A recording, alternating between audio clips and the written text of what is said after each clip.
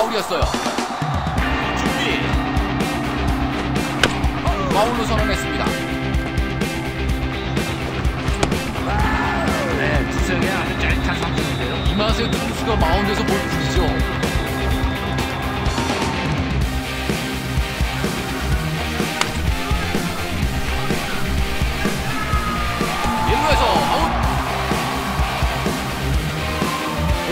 원앤원에서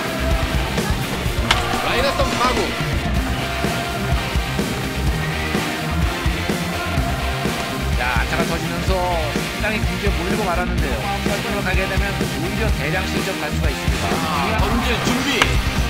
우측으로 떠가는 타구. 원아웃을 잡습니다.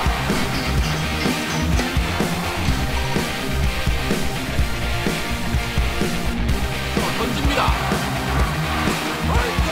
아, 지금 던진 슬라이더는 각도가 정말 예리했습니다. 타자가 완전히 속았어요. 스윙이죠. 내야 땅볼 2쪽으로 갑니다.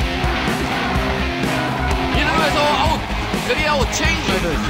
정말 칠이 까다로운 기술이었어요. 자, 투수.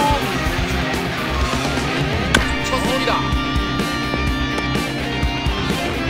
이번에 타구가 내야에 높게 떴습니다. 잡아내면서 3아웃